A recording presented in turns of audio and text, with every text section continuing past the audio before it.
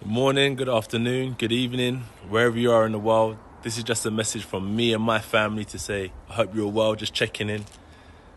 To the toddlers, to the teenagers, to the young adults, to the adults. I know we want to be doing what we're doing and what we do best, but we're all in this together, so I'm sure we're all following the simple guidelines. Listen, I'm not a politician, I'm not part of the government, but I do take note. Even a rebel like me would love to be out there doing the most right now on my dirt bike, sparring, going to the boxing gym. Yesterday would have been my first day of training camp, preparing for my fight, defending my championship belts, but I've got to follow guidelines to make sure that we get through this together. And to the ones that have lost loved ones or the ones suffering, you've got my love and support.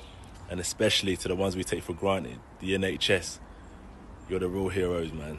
One love to all of you guys. Thank you so much.